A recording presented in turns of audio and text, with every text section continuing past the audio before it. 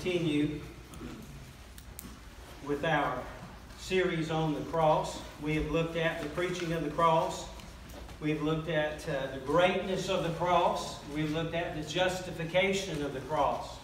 When we believe and receive Jesus Christ as our Savior, the Bible says we are justified. We are declared righteous in the sight of God through what Christ has done for, for us on the cross. But this morning we're going to look at the reality of the cross, the truth of it, the certainty of it from Romans 5, verses 6 uh, through 11. I'll get there in a minute. There we are. We'll start kind of in the middle of verse 5.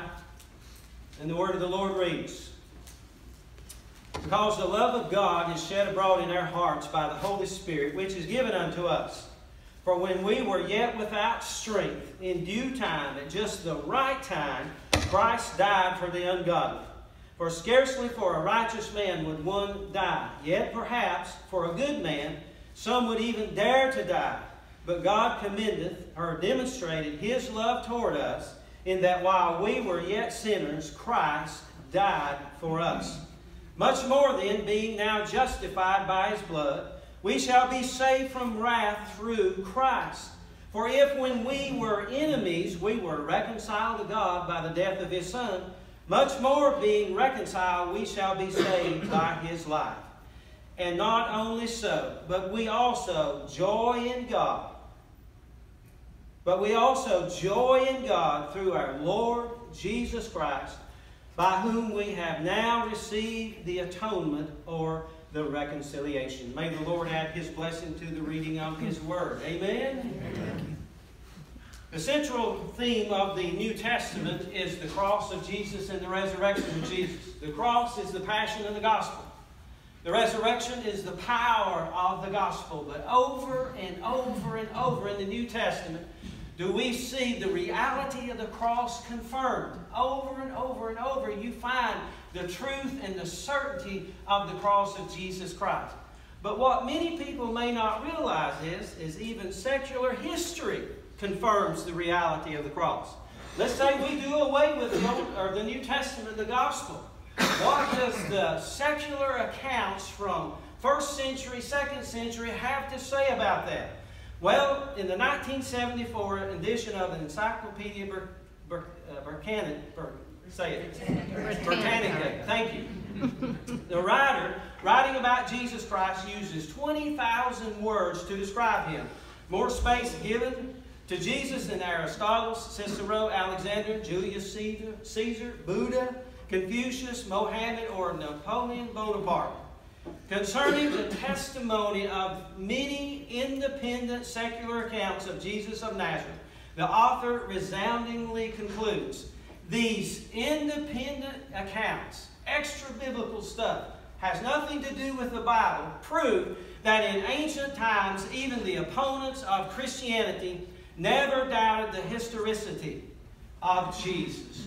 Jesus Christ was a man and a fact and a truth in history. Amen? Amen? And do you know that you can go back and study the records? And the records show that Jesus was a Jewish man. And that he did all kinds of miracles. And the word that they attached to him in these secular accounts was, is he did miracles through sorcery, if you will. It also says that the religious leaders, the Jewish people, were against Jesus. It says that the Romans crucified Jesus, and then after his crucifixion, his believers and followers believed that he was alive and they worshiped him as God. So much so that these believers spread all over Asia Minor, even as far away as Rome, worshiping Jesus Christ as God. Hallelujah. Amen. The reality of the cross, folks, is real. That's right. It is undisputed. You, now, you may say, well, I don't believe it, but if you believe any facts of history, you have to believe in the reality of the cross. There is so much evidence of the reality of the cross. And if the cross is true, and it is, there's some other things that are true as well, and we need to embrace that reality. Amen? Amen? Amen. So this morning we're going to look at the reality of the cross, and it reveals several things. First, it reveals what I'm going to call man's helplessness. Say that with me. Reveals man's helplessness. In verse 6, Paul says, For when we were yet without strength, in due time Christ died for us. Who are the we here in this text? That would be those who uh, have been saved, but before they were saved, Paul is saying, before we were saved, we were yet without strength. In the Greek text, the words without strength is in one is one word. And it means powerless. It means without ability. It means without strength in a spiritual sense. And this is translated in many different ways. The NIV has it when we were still powerless. While we were still helpless, in the New American Standard says. Amplified, while we were yet in weakness, powerless to help ourselves. Well, what is this power, powerlessness and this helplessness in regard to? Our sin problem before God. That's what it's in regard to. We were powerless, we were helpless to do anything about our sin problem before God so that God could forgive us and accept us into His kingdom. We were without any power, any ability to do anything about our sin problem and the debt that we owe God for breaking His law. The cross stands on history to remind us that the cross reveals my helplessness before God when it comes to my sin problem, and yours as well. This is the argument that Paul has been making in chapter 3. He says in chapter 3 and verse 10, There is none righteous, no, not one. In verse 23, he says again, For all have sinned and come short of what God demands and expects. The righteous demands of the law, we are not able to keep those. We have broken His law. We've all come short of what God demands and expects. In chapter 4, He tells us that no one can be justified by their works or doing good deeds in verses 1 through 8.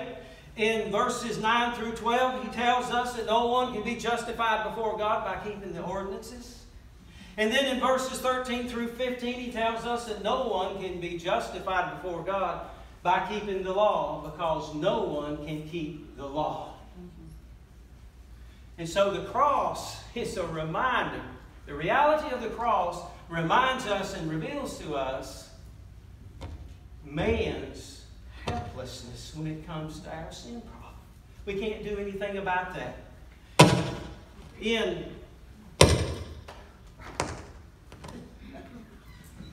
in uh, our discipleship series that we use, with new Christians. I don't know if you can see that or not. In the very first lesson, it says to read Ephesians 2 8 and 9.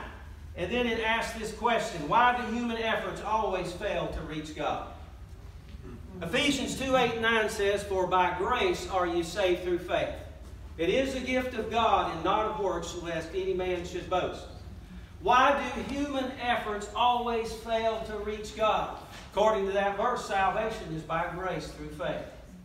Number two, it is a gift of God. And number three, it's not by works, lest any man should boast.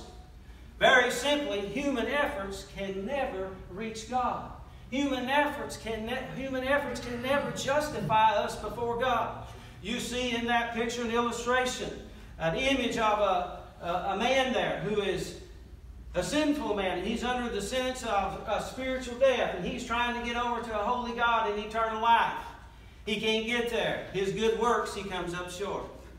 He's trying to get there by religion. You can join any church you want to. You can join any religion you want to. You can't get there by religion. Religion, religion is a system of man-made works whereby man is trying to work himself to heaven. It cannot be done. Mm-hmm. Other people say, well, I'm a pretty good person by morality. The Bible says there is none righteous, no, not one. We do not stand up to the standard that God has set for us. We all come short of that. So no man can get over there. Only by faith in Jesus Christ can we get there. Amen? Amen. The cross reveals man's sinfulness. More importantly, the cross reveals my sinfulness before God. Now, just for a moment, hypothetically, let's pretend, or say hypothetically, that this man in this image, for good works, can give himself over to a holy God in eternal life. Just pretend. And let's just draw us an imaginary line right over there on good works, and he's able to get across there. What would that mean if one person could do that? What would that mean? If one person could do it, who else could do it? Anybody who wanted to put out the effort. If one person could get there by good works, that means that other people can get there.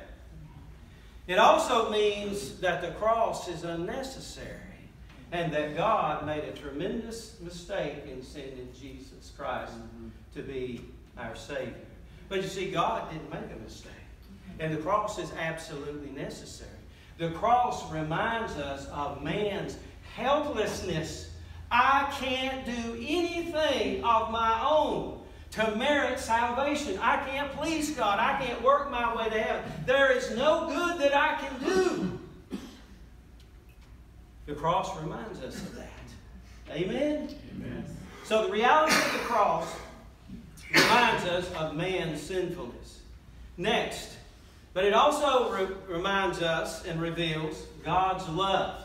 Verses 7 and 8. Look along with me. For scarcely for a righteous man would one die, yet perhaps for a good man some would even dare to die. But God demonstrated his love toward us in that while we were yet sinners, Christ died for us. The word love in verse 8 in the Greek is agape. And it is defined in the word study as the divine, supernatural love of the supreme being for entirely unworthy objects. Amen? This text is telling us we are the unworthy objects, by the way. Your text says sinners. That literally reads in the Greek text, enemies of God. And it says that while we were enemies, Christ died for us. Christ demonstrated his love for us while we were rejecting him and were his enemies.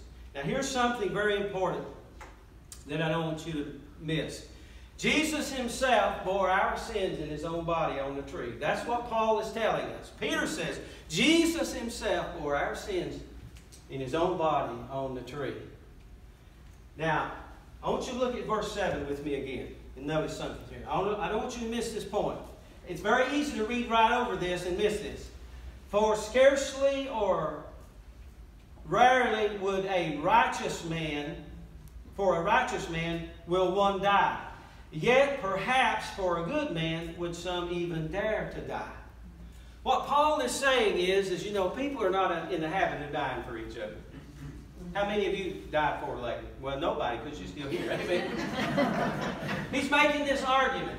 If you were going to die for somebody, what kind of person would that person have to be for you to give your life for? Paul says it's a rare thing for somebody to be willing to die for a righteous man. It's a rare thing for somebody to be willing to die, even dare to die for a good man. So we're talking about righteous people and good people for which one would dare to even die. Verse 8. But God demonstrated his own love toward us, and while we were yet sinners, Christ died for us. Amen. What Paul is telling us that God let his son die not for a bunch of righteous people. God let his son die not for a bunch of good people, but he let his son die for the worst of the worst, literally, enemies of God. Do you see that? The kind of person that would raise their fist to heaven and curse God. The kind of person who would say, I don't believe God exists, I don't believe in His Word, I don't believe anything about that.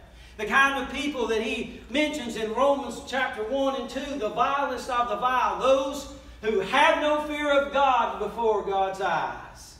God demonstrated his love for even people like that. Jesus didn't come to die for a bunch of good people and a bunch of righteous people. He came to die for the worst of the worst sinners. The worst of the worst The reality of the cross reveals God's love for us. And that should motivate us as His children to worship Him, praise Him, and be willing to serve Him. Amen? Amen. In parables in Luke 15, I read one of them this morning, the lost sheep. And it's a parable of a person who's got 99 sheep. He leaves the 99 and he goes after the one. And he finds the one. He puts it upon his shoulder, shoulders and takes it home. And then when he gets there, he rejoices with his neighbors. For his sheep was lost and now it's found. And then Jesus says this that heaven rejoices over one sinner, over one sinner that repents. This reveals the quality of God's love for us. He leaves the 99 and goes after the one. Why? Because they're lost. They need help. He doesn't hold back. He doesn't look in the 99 and say, man, I got 99. What I care about the one. God's heart. You and I can't think that way. You and I can't love that way because we're not God. We can even get our hands around that because we would see all that we do have rather than the one that's slipped away. This is a picture of the quality, the depth, and the power of God's love. In the lost coin, the lady has 10 coins. She loses one of them. She lights a candle and puts it up where she can see. She sweeps and cleans her house until she finds it. And when she finds it, she calls her neighbors in. Say, come rejoice with me because my lost coin is found. And again, Jesus says, all heaven will rejoice when one sinner repents, turns to me. Think of that.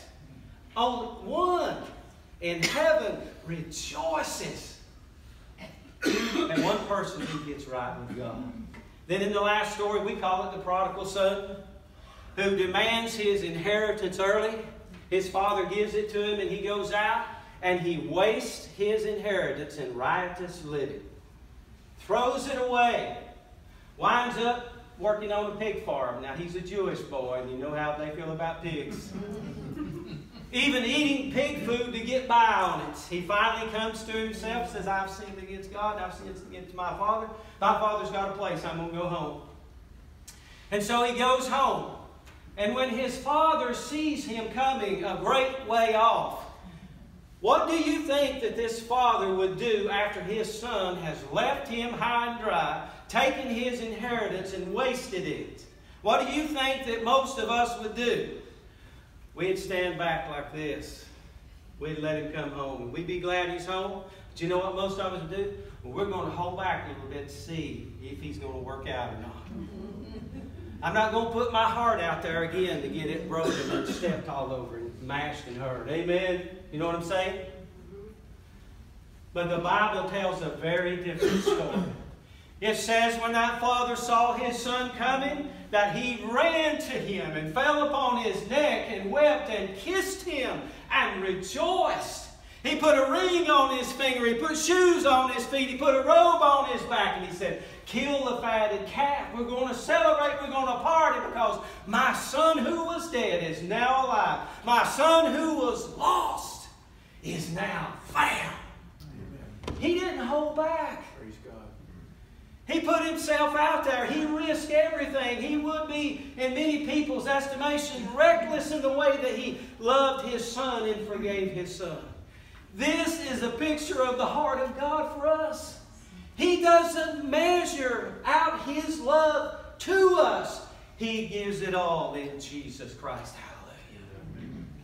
The reality of the cross reveals God's love. You can even call it reckless if you want to, because He comes after us. He goes up every hill, He goes to the deepest depth, He goes to all lengths to reach us with a message of the gospel and about how much God loves us, and He wants heaven with us in it. Amen? Amen. Amen. The reality of the cross reveals man's helplessness. It reveals God's love. But it also reveals this. It reveals sin's judgment. Say that with me. It reveals sin's judgment. Listen to verses 9 through 11. Much more then, being now justified by his blood, we shall be saved from wrath through him. For if when we were enemies, we were reconciled to God by the death of his Son, much more being reconciled, we shall be saved by his life. And not only so, but we also joy in God through our Lord Jesus Christ, by whom, by whom we have now received the atonement.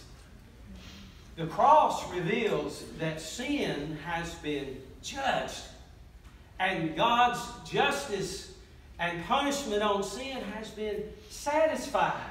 That's what that cross means. Means many things, but that's one of the things that you and I need to get in our head and understand this. The righteous demands of the law demanded punishment for breaking the law. It demanded justice. The Bible tells us that every sin Every transgression and every disobedience receives a just reward. God's very nature, listen to me now, God's very nature demands justice when we break His law. His righteousness, His holiness, His godness demands that sin be paid for, that justice be meted out. What kind of God would God be if He let all of this sin go and never dealt with it? What kind of sheriff would we have down here in Bunnell if he looked every other way, let people uh, break laws, hurt people, do all kinds of crimes, and never did anything about it? Well, he would be a good for nothing sheriff. That's what he'd be. God cannot let all of this go. For God to maintain His godness and His authority, sin must be paid for, must be judged. His nature demands that sin be paid for and justice be given. Amen? Amen? Listen to this. You say, well, how in the world is God going to do that? Heaven is a righteous and a holy place. That's where God lives. Now, how in the world is God going to let a bunch of sinners like us, a bunch of enemies, as it says in the text, who have broken God's law over and over, how is God going to let us into heaven? How is He going to fellowship with us? How is that possible and for him to maintain his godness and his authority? How's he going to do that? Just like this right here. 2 Corinthians 5.21 For God made Christ, who knew no sin, to be sin for us, that we might become the what? the righteousness of God in him. Only God is smart enough to figure that out. Only God is smart enough to figure out a way for my sin to be judged and paid for and allow me to go to heaven. And this is the way He did it. He sent His Son, Jesus Christ, who knew no sin, committed no sin, to go to the cross and be a substitute and a sacrifice for humanity. Praise His holy name. Amen. That is how God can forgive us and receive us into His heaven. Now, with that said, I want you to look at verse 9, verse 10, and 11. Every single one of those verses, every single one of those verses confirm sin's judgment. Look in verse 9.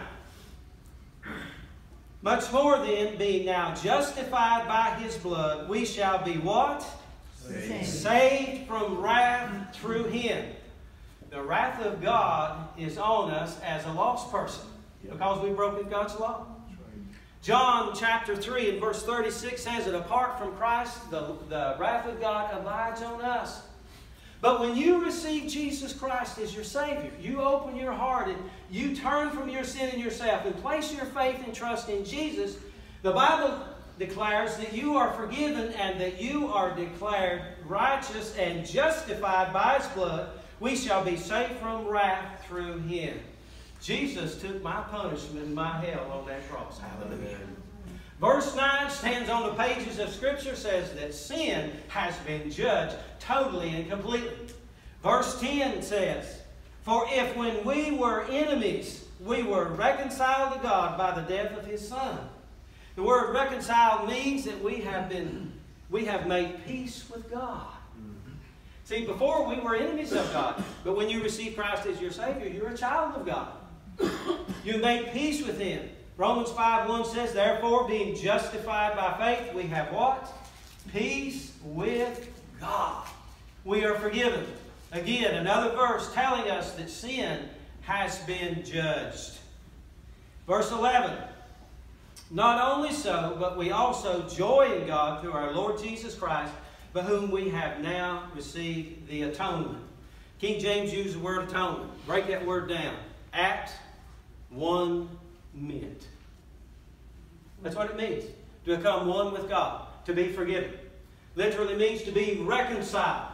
Through what Christ has done for us, we have now received the reconciliation. We have peace with God. Every single one of these verses tell us that sin has been judged totally and completely, which means that I can be forgiven for my sin. Amen? Amen. The cross, the shadow of the cross, or not shadow of the cross, but the reality uh, of the cross reveals sin's total and complete judgment. You say, Are you sure, Pastor? I am very sure. Amen. Jesus himself said it.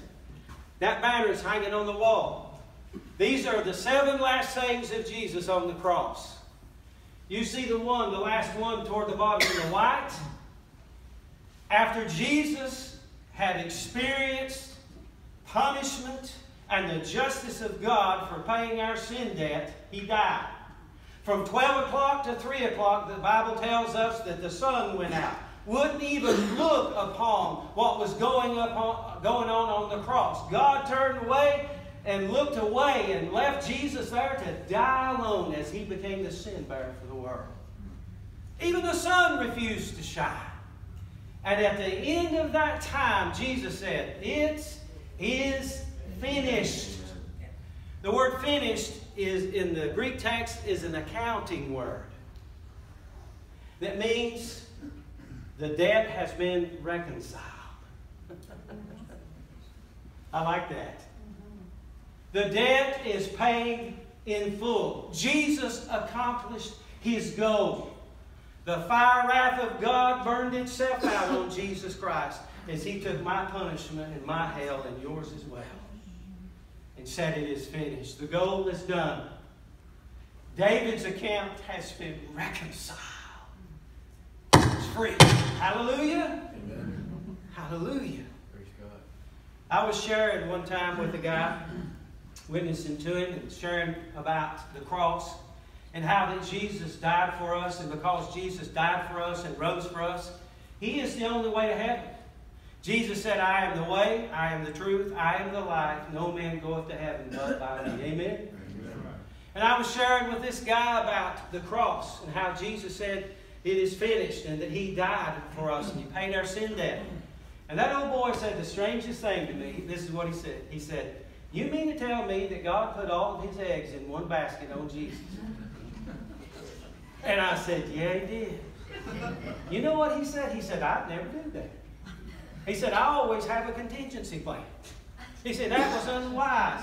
And what he was saying is that was reckless. But you know what? That old boy ain't God, is he? And that is exactly what God did. He put all of his eggs in one basket. Jesus died for our sins and rose again for our justification. And if we put our faith and our trust in Jesus Christ, He will forgive us. Amen? Amen. Amen. This is the certainty, the truth, and the reality of the cross. It reveals man's helplessness to do anything about his sin problem. It reveals the demonstration of God's love and how much He loves us in Christ Jesus. And it also reveals the reason that God can forgive us as a bunch of sinners. Jesus took my place on that cross. Praise God. Man, I'll be glad when we get done here. Did you turn your Bluetooth off? I'm not even moving.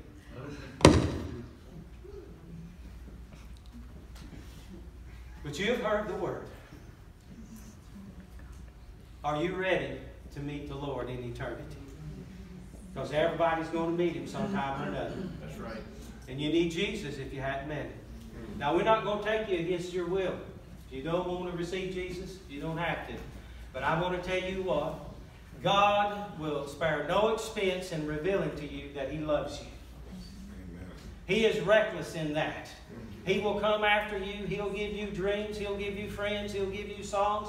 He'll give you the gospel in many different ways. He will let you know that He loves you. Amen. Will you let Him find you today? Will you come to Him and humble yourself and receive Christ as your Savior? Amen? Amen. Amen. Let's bow before the Lord.